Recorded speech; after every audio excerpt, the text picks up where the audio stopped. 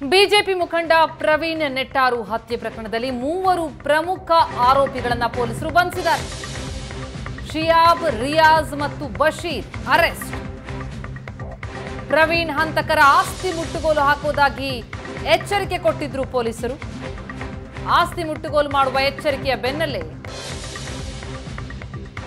ಮೂವರು ಆರೋಪಿಗಳು ಅರೆಸ್ಟ್. ಮಂಗಳೂರು ಪೊಲೀಸರಿಂದ ಮಹತ್ವದ ಕಾರ್ಯಾಚರಣೆ. ಪ್ರವೀಣ್ ಹತ್ಯೆಗೈದು ಕೇರಳಕ್ಕೆ ಪರಾರಿಯಾಗಿದ್ರು ಆರೋಪಿಗಳು. ಅವರ ಆಸ್ತಿ ಮುಟ್ಟುಗೋಲು ಹಾಕಿಕೊಳ್ಳುವ ಎಚ್ಚರಿಕೆ ಕೊಟ್ಟು ಖಾಕಿ ಪಡೆ. ಎಚ್ಚರಿಕೆಯ ಬೆನ್ನಲ್ಲೇ ಈಗ ಮೂವರು ಅರೆಸ್ಟ್ ಆಗಿದ್ದಾರೆ. ಕೇರಳದಲ್ಲಿ ಆರೋಪಿಗಳನ್ನ ಬಂಧಿಸಿತು ಖಾಕಿ ಪಡೆ. ಗೌಪ್ಯ ಸ್ಥಳದಲ್ಲಿ ಪೊಲೀಸರಿಂದ ಆರೋಪಿಗಳ ವಿಚಾರಣೆ. ಜುಲೈ ಇಪ್ಪತ್ತೇಳರಂದು ಪ್ರವೀಣ್ ಹತ್ಯೆ ಮಾಡಿದ್ರು ಆರೋಪಿಗಳು. ಬೈಕ್ನಲ್ಲಿ ಬಂದು ಹತ್ಯೆ ಮಾಡಿದಂತಹ ಹಂತಕರು ನಂತರ ಕೇರಳಕ್ಕೆ ಎಸ್ಕೇಪ್ ಆಗಿದ್ರು ಹಂತಕರಿಗಾಗಿ ಎಲ್ಲ ಕಡೆಯಲ್ಲೂ ಕೂಡ ಜಾಲಾಡಿದ್ರು ಪೊಲೀಸರು. ನಂತರ ಆಸ್ತಿ ಮುಟ್ಟುಗೋಲು ಹಾಕುವ ಎಚ್ಚರಿಕೆಯನ್ನ ಕೊಟ್ಟಿದ್ರು. ಬಂಧನ ಇಲ್ಲವೇ ಶರಣಾಗತಿ ಆಗಬೇಕು ಇಲ್ಲದ್ರೆ ಆಸ್ತಿ ಮುಟ್ಟುಗೋಲು ಹಾಕೋದಾಗಿ ಖಾಕಿ ಪಡೆ ಎಚ್ಚರಿಕೆ ಕೊಟ್ಟ ಬೆನ್ನಲ್ಲೇ ಈಗ ಮೂವರು ಕೇರಳದಲ್ಲಿ ಅರೆಸ್ಟ್ ಆಗಿದ್ದಾರೆ. ಈ ಬಗ್ಗೆನಷ್ಟು ಡೀಟೇಲ್ಸ್ ಕೊಡ್ತಾರೆ ನಮ್ಮ ರಿಪೋರ್ಟರ್ ಭರತ್ ರಾಜುಗೆ ಸಂಪರ್ಕದಲ್ಲಿದ್ದಾರೆ. ಭರತ್ ಕೊನೆಗೂ ಆರೋಪಿಗಳು ಅರೆಸ್ಟ್ ಆಗಿದ್ದಾರೆ. ಇದ್ರ ಬಗ್ಗೆ ಏನೇನ್ ಡೀಟೇಲ್ಸ್ ಲಭ್ಯ ಆಗ್ತಾ ಇದೆ? ಎಸ್ ಪ್ರತಿಮಾ ನಿಜಕ್ಕೂ ಕೂಡ, ಯಾಕಂದ್ರೆ ಸುಮಾರು ಒಂದು ಹದಿನೈದು, ಹತ್ತು ಹದಿನೈದು ದಿನಗಳ ಬಳಿಕ ಕೊನೆಗೂ ಕೂಡ ಪ್ರಮುಖ ಆರೋಪಿಗಳನ್ನು ಬಂಧಿಸುವಲ್ಲಿ ದಕ್ಷಿಣ ಕನ್ನಡ ಪೊಲೀಸರು ಯಶಸ್ವಿ ಆಗಿದ್ದಾರೆ. ಈಗಾಗಲೇ ಬಂಧನಾದಂತಹ ಪ್ರಮುಖ ಆರೋಪಿಗಳಲ್ಲಿ ಶಿಯಾಬ್, ರಿಯಾಜ್ ಮತ್ತು ಬಶೀರ್. ಇದರಲ್ಲಿ ಶಿಯಾಬ್ ಒನ್ ಆರೋಪಿ ಅಂತ ಹೇಳಲಾಗ್ತಾ ಇದೆ. ಆದ್ರೆ ಹನ್ನೆರಡು ಮೂವತ್ತಕ್ಕೆ ಈಗಾಗಲೇ ಒಂದು ಸುದ್ದಿಗೋಷ್ಠಿ ಇದೆ ಆ ಸುದ್ದಿಗೋಷ್ಠಿಯಲ್ಲಿ ಸಮಗ್ರವಾದ ಮಾಹಿತಿಯನ್ನು ಎಡಿಜಿಪಿ ಅಲೋಕ್ ಕುಮಾರ್ ಅವರು ನೀಡ್ತಾರೆ. ಅಂದ್ರೆ ಪ್ರಮುಖವಾಗಿ ಆರೋಪಿಗಳು ಸಾಕಷ್ಟು ಕಡೆಗಳಿಗೆ, ಅಂದ್ರೆ ಹತ್ಯೆ ನಡೆಸಿದ ಬಳಿಕ ಅವರು ಸಾಕಷ್ಟು ಕಡೆಗಳಿಗೆ ಹೋಗಿ ತಲೆಮರೆಸಿಕೊಂಡಿದ್ರು.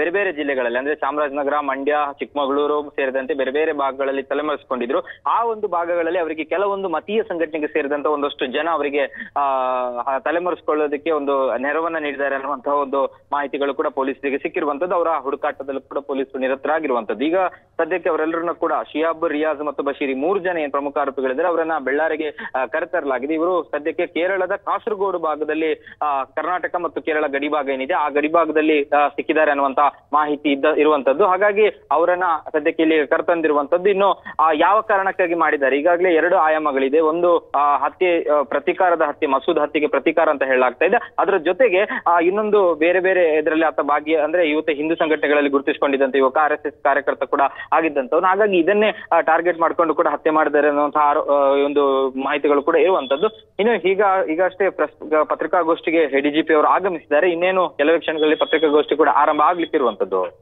ಭರತ್ ಈ ಆರೋಪಿಗಳ ಕುರಿತಾಗಿ ಅಂದ್ರೆ ಅವರ ಹಿನ್ನೆಲೆ ಏನು? ಇಲ್ಲಿ ಲೋಕಲೈಟ್ಸ್ ಅಥವಾ ನಿಜಕ್ಕೂ ಕೇರಳದಿಂದ ಬಂದಿದ್ರು ಅಂತ ಅನ್ನುವಂಥ ಮಾತುಗಳೆಲ್ಲ ಕೇಳಿ ಬರ್ತಾ ಇತ್ತಲ್ಲ, ಆ ಬಗ್ಗೆ ಏನಾದರೂ ಸ್ಪಷ್ಟತೆ ಸಿಗ್ತಾ ಇದೆಯಾ ಹೇಗೆ? ಪ್ರತಿಮಾ ಸದ್ಯಕ್ಕೆ ಅವರು ಕೇರಳದವರು ಅಲ್ಲ ಸ್ಥಳೀಯರೇ ಅಂದ್ರೆ ಬೆಳ್ಳಾರೆ ಮತ್ತು ಸುಳ್ಯ ಭಾಗದ ಸ್ಥಳೀಯರೇ ಮೂರು ಜನ ಆರೋಪಿಗಳು ಕೂಡ ಅನ್ನುವಂತ ಮಾಹಿತಿಗಳು ಪೊಲೀಸರಿಗೆ ಕಂಪ್ಲೀಟ್ ಆಗಿ ಕ್ಲಿಯರ್ ಆಗಿ ಸಿಕ್ಕಿದೆ. ಆ ಒಂದು ಅದು ಒಂದು ಮಾಹಿತಿ ಸಿಕ್ಕಿದ ಮೇಲೆ ಅವರು ಈ ರೀತಿಯಾಗಿ ಒಂದು ಬಂಧನದ ವಾರೆಂಟ್ ಅನ್ನ ಜಾರಿ ಮಾಡಿ ಅವರ ಆಸ್ತಿ ಮುಟ್ಟುಗೋಲಿನ ಸೂಚನೆಯನ್ನ ಒಂದು ಎಡಿಜಿಪಿ ಕೊಟ್ಟಿದ್ರು. ಆದ್ರೆ ಯಾವಾಗ ಆಸ್ತಿ ಮುಟ್ಟುಗೋಲು ಆಗುತ್ತೆ ಅನ್ನುವಂತ ಒಂದು ಆತಂಕ ಎದುರಾಯ್ತು. ಆಗ ಸಹಜವಾಗಿ ಅವರು ತಮ್ಮ ಅಡಗುದಾನಗಳನ್ನ ಬದಲಿಸುವಂತ ಕೆಲಸವನ್ನ ಸ್ಟಾಪ್ ಮಾಡಿದ್ರು. ಹಾಗಾಗಿ ಈಗ ಅವರ ಬಂಧನ ಆಗಿರುವಂತದ್ದು.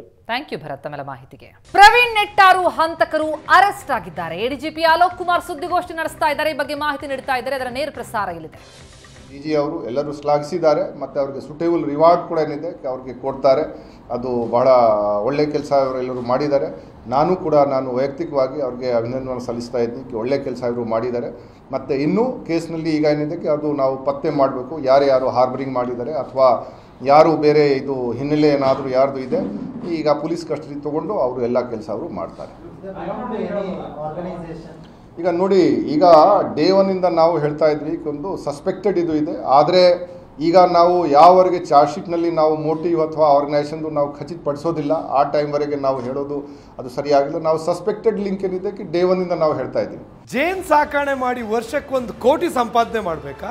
ವರ್ಷಕ್ಕೆ ಜೇನ್ ಸಾಕಣೆ ಮಾಡಿ ನಾಲ್ಕು ಕೋಟಿ ಸಂಪಾದನೆ ಮಾಡೋರು ನಿಮ್ಗೆ ಹೇಳ್ಕೊಡ್ತಾರೆ. ಮತ್ತೆ ಆಗ್ತಾಡ ಫ್ರೀಡಮ್ ಆ್ಯಪನ್ನು ಈಗಲೇ ಡೌನ್ಲೋಡ್ ಮಾಡಿ. ಸಸ್ಪೆಕ್ಟೆಡ್ ಲಿಂಕ್ ಏನಿದೆ ಅದು ಪಿ ಎಫ್ ಐ ಮತ್ತು ಎಸ್ ಡಿ ಪಿ ಐ ಸಂಸ್ಥೆ ಜೊತೆಗೆ ಅವರದು ಇದೆ. ನಮಗೆ ಕೆಲವು ಅದರ ಬಗ್ಗೆ ಈಗ ಸಾಕ್ಷಿ ಇದೆ. ಆದರೆ ನಾವು ಅದರ ಬೇ ಬೇಸಿಸ್ ಮೇಲೆ ಈಗಲೇ ನಾವು ಅದು ಹೇಳೋದು ಸರಿ ಆಗಲ್ಲ ಯಾಕಂದ್ರೆ ಆ ಕೆಲಸ ಆಯೋದು ಕೆಲಸ ಇದೆ. ನಾವು ಇನ್ವೆಸ್ಟಿಗೇಷನ್ದು ಭಾಳ ವಿಷಯ ಇಲ್ಲಿ ನಮಗೆ ಈ ಹೇಳೋದು ಸರಿ ಆಗೋದಿಲ್ಲ ಅವರು ಅದು ಇನ್ವೆಸ್ಟಿಗೇಷನ್ ಟೈಮ್ಗೆ ಆಯೋ ರೆಕಾರ್ಡ್ ಮೇಲೆ ತ- ಇದು ಮಾಡ್ತಾರೆ. ಸೊ ಆ ಪ್ರಕಾರ ಆ ನಿಟ್ಟಿನಲ್ಲಿ ಅವರು ಕೆಲಸ ಮಾಡ್ತಾರೆ.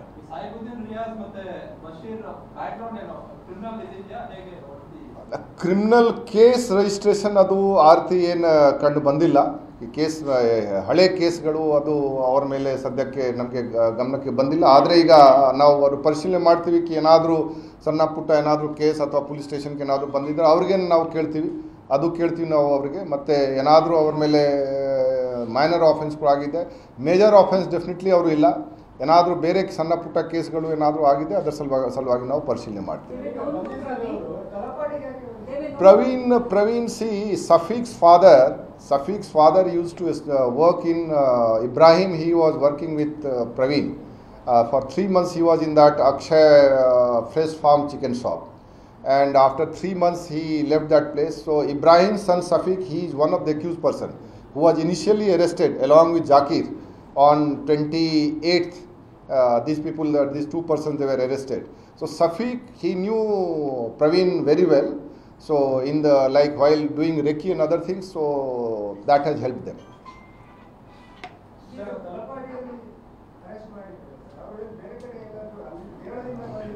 ಅಲ್ಲ ನಾವು ನೋಡಿ ನಾವು ನಿಮಗೆ ಅದಕ್ಕೆ ಅಲ್ಲಿ ಒಂದು ಖಚಿತ ನಮಗೆ ಒಂದು ಟಿಪ್ ಆಫ್ ನಮಗೆ ಇತ್ತು. ಅವ್ರದ್ದು ಮೂವ್ಮೆಂಟಲ್ಲಿ ಇದೆ.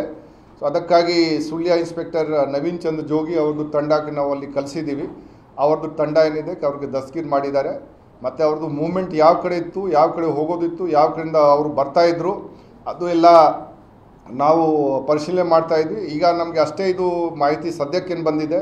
ಅವರು ಇದು, ಇಲ್ಲಿಂದ ಫಸ್ಟ್ ಏನಿದೆ, ಈಗ ಮಾಲೆ ದಿನಾರ್ ಮಸೀದಿ ಒಂದು ಇದೆ. ಆ ಕಾಸರಗೋಡ್ನಲ್ಲಿ, ಬೇಕಲ್ ರೋಡ್ನಲ್ಲಿ, ಅವರು ಫಸ್ಟ್ ಇಲ್ಲಿಂದ ಅಲ್ಲಿ ಹೋಗಿದ್ರು.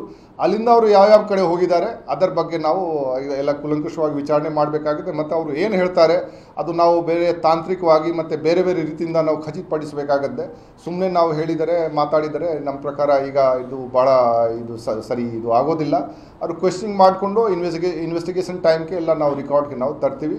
ಮತ್ತು ಅವರು ಬೇರೆ ಬೇರೆ ಜಾಗದಲ್ಲಿ ಅವರಿಗೆ ಯಾರು ಹೆಲ್ಪ್ ಮಾಡಿದ್ದಾರೆ, ಸಹಾಯ ಮಾಡಿದ್ದಾರೆ ಫೈನಾನ್ಷಿಯಲಿ ಆಗಲಿ ಅಥವಾ ಸೆಂಟರ್ ಕೊಡಲಿಕ್ಕೆ ಆಗಲಿ ಅದು ಎಲ್ಲರದು ರೆಕಾರ್ಡ್ ಮೇಲೆ ಬರುತ್ತೆ ಅವರ ಮೇಲೆ ನಮ್ಮ ಲೋಕಲ್ ಪೊಲೀಸ್ ಮತ್ತು ಎನ್ ಐ ಎ ಅವರು ಎಲ್ಲರೂ ಅವ್ರ ಮೇಲೆ ಆ್ಯಕ್ಷನ್ ತಗೊಳ್ತಾರೆ Riyaz had any connections with he was a chicken like No, uh, Riyaz Anktatka, he is one of the accused, no, three persons, assailants. Did he, did he was did he know Praveen earlier? No, see, now uh, Safiq part we know, but since these people were moving, now the, we have to find out ki how and why they have uh, selected this target. So that needs to be probed deeper. Just like that, we cannot say why he was selected as target. So that part we need uh, we need to probe further, and our officers they are on the job. They will be doing it. ಹೌದು ನೋಡಿ ಈಗ ವೆಪನ್ನಲ್ಲಿ ಬಿಸಾಕಿದ್ದಾನೆ ಅದು ಮತ್ತು ಈಗ ಐದು vehicle ಬಗ್ಗೆ ಈ ಎಲ್ಲ ಇದರಲ್ಲಿ ಮೇನ್ ಇದರ ಸಲುವಾಗಿ ಒಂದು black colour Splendor vehicle use ಆಗಿದೆ ಮತ್ತು ಸೊ ಅದು ಐದು, ಟು, ದ್ವಿಚಕ್ರ ವಾಹನಗಳು ಮತ್ತು ಒಂದು ನಾಲ್ಕು ಚಕ್ರ ವಾಹನ ಏನಿದೆ, ಆಲ್ಟೋ ವೆಹಿಕಲ್, ಅದು ಟೋಟಲ್ ಸಿಕ್ಸ್ ವೆಹಿಕಲ್ ಈ ಕೃತಕ್ಕೆ ಅದು ಭಾಗ ಇದು ಯೂಸ್ ಮಾಡಿದ್ದಾನೆ. ನಮಗೆ ಬಹಳಷ್ಟು ವೆಹಿಕಲ್ ಬಗ್ಗೆ ಮಾಹಿತಿ ಇದೆ. ಈಗ ಕ್ವೆಶ್ಚನ್ ನಾವು ಮಾಡ್ತೀವಿ. ಎಲ್ಲೆಲ್ಲಿ ಅವರು ಇಟ್ಟಿದ್ದಾರೆ, ಎಲ್ಲೆಲ್ಲಿ ಇದೆ, ಅದು ಮತ್ತು ಅದು ಏನು ಆ್ಯಸ್ ಪರ್ ಪ್ರೊಸ್ ಪ್ರೊಸೀಜರ್ ನಾವು ಅವ್ರದ್ದು ಸೀಜರ್ ಏನಿದೆ ನಾವು ಮಾಡ್ತೀವಿ. ಮತ್ತು ಆ ವೆಪನ್ ಕೂಡ ಎಲ್ಲಿ ಅವನು, ಇವರು ಎಲ್ಲ ಬಚ್ಚಿಟ್ಟಿದ್ದಾರೆ ಅಥವಾ ಎಲ್ಲಿ ಇದು ಇದೆ, ಅದರ ಬಗ್ಗೆ ಕೂಡ ಈಗ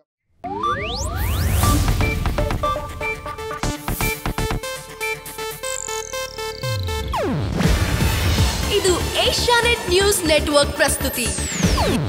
ನೀವು ನೋಡ್ತಿದ್ದೀರಾ ಏಷ್ಯಾನೆಟ್ ಸುವರ್ಣ ನ್ಯೂಸ್.